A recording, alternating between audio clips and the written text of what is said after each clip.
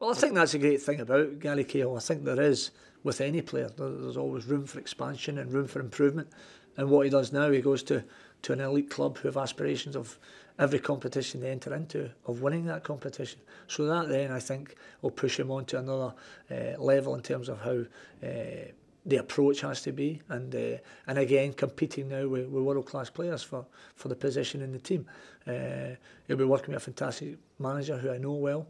And, and somebody that wants to, to build a club at, at Chelsea Football Club. And I think Gary will be a huge part of that he's a player that would love to bring to the football club, and uh, hopefully in the next few days, then, then certainly that can come to fruition.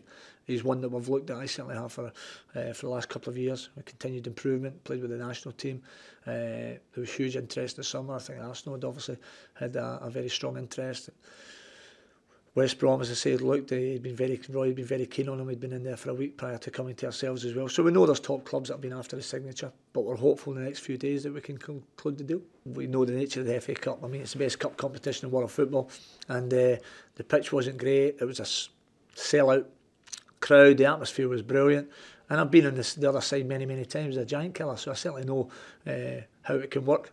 And when the lad Mendy scored, an unbelievable goal. I mean, then you think to yourself, oh, is that one of these FA Cup moments? But all credit to the players. Uh, they continue to make chances. David Wheater scored a very good goal. And if truth be told, we had chances at the end to, to win the tie at first time of asking. We never. And now we give ourselves uh, you know, the, the replay that we have to make sure that we're at our best. If we do that, we progress to the next round with a home draw against Swansea. And uh, that's what we have to make sure we're at our best to do that because we want to be in the hat for the, certainly we want to be playing Swansea at home. It's as simple as that.